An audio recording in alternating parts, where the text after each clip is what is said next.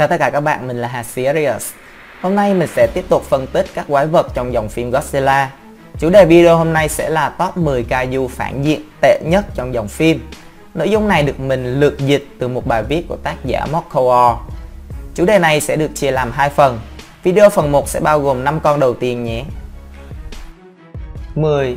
Titanosaurus Titanosaurus là một kaiju khủng long khổng lồ sống dưới nước xuất hiện lần đầu tiên trong bộ phim Godzilla năm 1975 của Toho, Terror of Mechagodzilla. Titanosaurus là quái vật mới cuối cùng và là quái vật duy nhất không đến từ ngoài không gian vì rất nhiều kẻ thù mới của Godzilla trong những năm 70 đến từ ngoài không gian.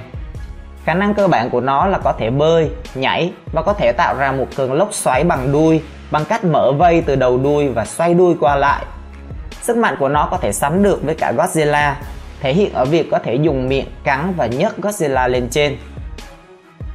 Lý do mình cho Titanosaurus vào top này là vì nó không thực sự xấu xa, chỉ là trường hợp một con quái vật bị một nhà khoa học điên điều khiển tâm trí, điều mà chúng ta đã thấy rất nhiều trong loạt phim rồi.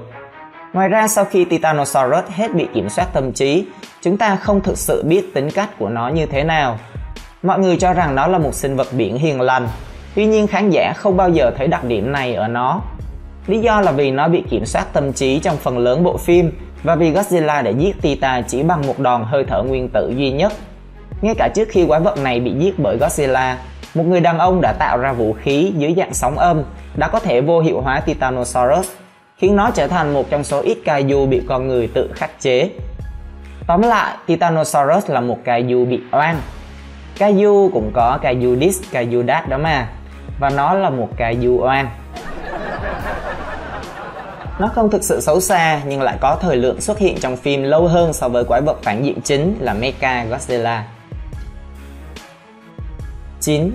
Kumonga Kumonga là một kaiju nhện khổng lồ xuất hiện lần đầu tiên trong bộ phim Godzilla năm 1967, Son of Godzilla.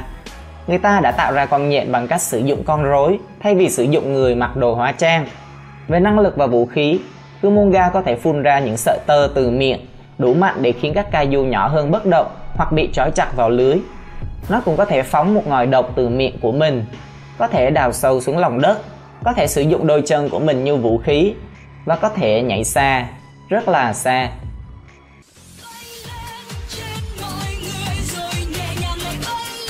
Lý do mình đưa Kumonga vào danh sách này là vì khả năng bắn ngòi độc của nó vì nó chỉ sử dụng khả năng bắn ngòi độc trong bộ phim đầu tiên, không hề sử dụng trong hai phim tiếp theo. Thứ hai là khi nó sử dụng đòn này, chất độc một mặt đủ mạnh để giết những kaiju nhỏ hơn như Kamakura trong vài giây. Tuy nhiên khi nó sử dụng chiêu này với Godzilla bằng cách bắn vào mắt, Godzilla vẫn còn sống mặc dù tầm nhìn của nó bắt đầu bị ảnh hưởng bởi chất độc. Vì vậy có vẻ như chất độc chỉ có thể giết những kaiju nhỏ và chỉ gây ảnh hưởng phụ đến những kaiju lớn hơn. Một lý do khác giúp nhện nhện có tên trong danh sách này chủ yếu là do nó xuất hiện trong phim Godzilla Final Wars với thời lượng rất ít. Trong số tất cả những quái vật mà chủng tộc Silian điều khiển trong phim, Kumonga gây ra ít sát thương nhất. Ngoài ra nó cũng bị Godzilla đánh bại rất dễ dàng. 8. Batcha Batcha là một kaiju hộ pháp với hình dạng bướm đêm khổng lồ, có màu đen và là bản sao dạng bóng tối của Mothra đã xuất hiện trong bộ phim Godzilla and Mothra The Battle for Earth năm 1992. Nó không thực sự xấu xa hay phản diện, nhưng rõ ràng là một đối thủ của Godzilla và là kẻ thù truyền kiếp của Mothra. Bacha giống như Mothra có cả dạng ấu trùng và dạng trưởng thành. Ở dạng ấu trùng nó có thể bơi, đào hang dưới lòng đất, bắn tia laser từ mắt cũng như sừng và truyền năng lượng khi tiếp xúc cơ thể. Nó cũng có thể biến thành dạng bướm của mình bằng cách bao phủ cơ thể trong một luồng ánh sáng rồi tiến hóa ngay lập tức.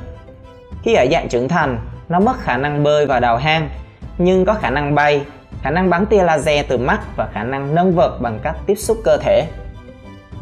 Về lý do tại sao mình thấy Batra là một nhân vật phản diện tệ dành cho Godzilla, vì giống như Titanosaurus, nó không thực sự xấu xa, kiểu nửa nạc nửa mỡ đó Minasan. Nó là người bảo vệ trái đất, tuy nhiên thực hiện điều này một cách cực đoan bằng cách xóa sổ toàn bộ loài người. Trong bối cảnh của loạt phim Heisei, Godzilla là đại diện của chính trái đất vì khi con người sử dụng vũ khí hạt nhân, Godzilla đã tấn công nhiều thành phố lớn để đáp trả. Tuy nhiên trong bối cảnh của bộ phim này, Batra có vai trò tương tự như một hộ pháp của trái đất. Nó cũng đã tấn công các thành phố lớn. Có cảm giác như chúng ta có hai kaiju cùng chung một vai trò, vì thế dẫn đến sự thừa thải. Bộ phim giống như là Batra vs Mothra, chứ không phải là Godzilla vs Mothra vậy. 7.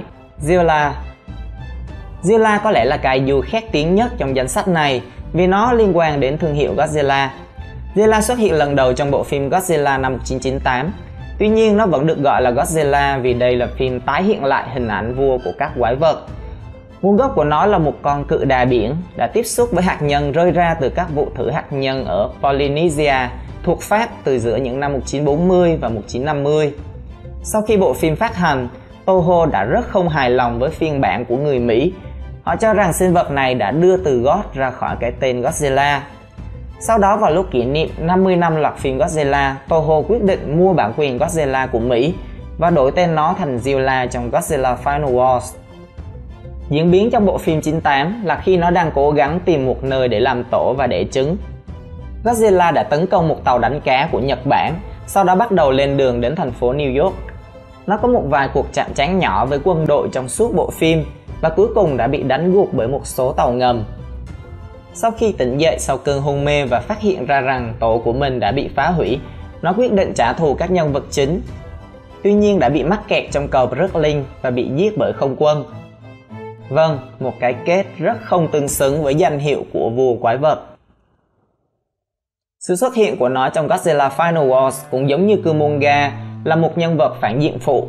Nó đã tấn công Sydney, Úc trước khi bị bắt bởi người Silian Một thời gian sau khi Gigan bị Godzilla giết, thủ lĩnh Silian quyết định thả Zilla ở Sydney để chiến đấu với Godzilla. Zilla bị chính Godzilla đánh bại khá nhanh chóng. Godzilla dùng chiêu thăng lăng quất đuôi, khiến con bò sát tội nghiệp bay vào nhà hát Opera Sydney. Kế đó Godzilla kết liễu nói bằng một tia hơi thở nguyên tử.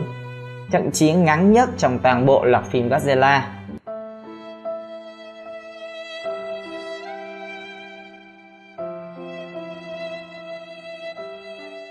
Vậy, tại sao mình lại nghĩ Zilla là một quái vật Godzilla phản diện tôi? Ngay từ đầu sinh vật Zilla xuất hiện trong bộ phim năm 1998 không chỉ bị người Nhật khinh thường mà còn bị toàn bộ fandom Godzilla đánh giá thấp vì cách xây dựng quái vật Godzilla quá tệ. Ngoài ra trong những lần xuất hiện của mình trong phim, sinh vật này có một tính cách hết sức nhún nhường, chạy trốn rất nhiều khỏi quân đội và dễ dàng bị hạ gục sau khi bị một vài tên lửa bắn trúng.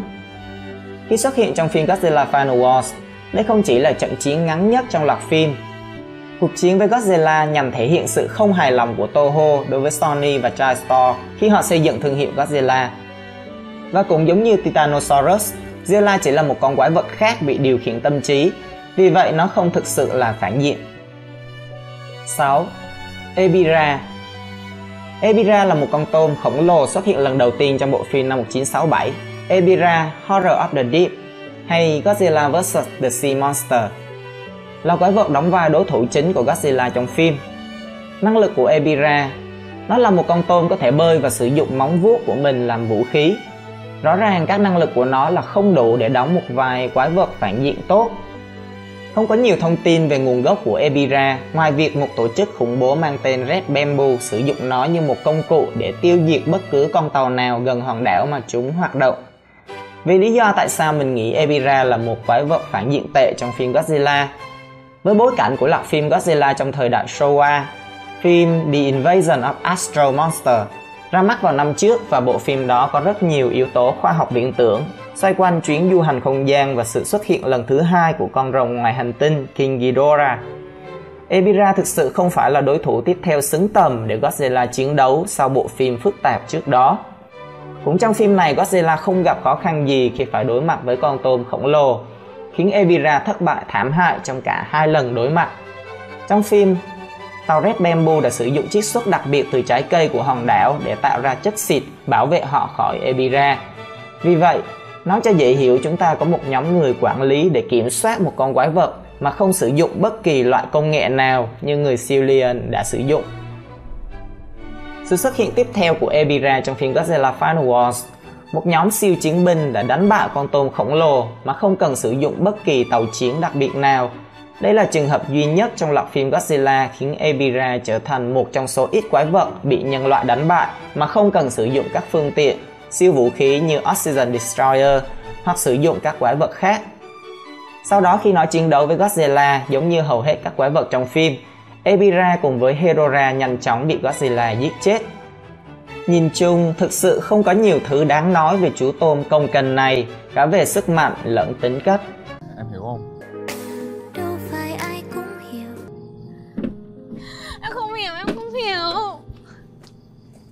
Như vậy là phần 1 trong top 10 kaiju phản diện tệ nhất của mình đã hết.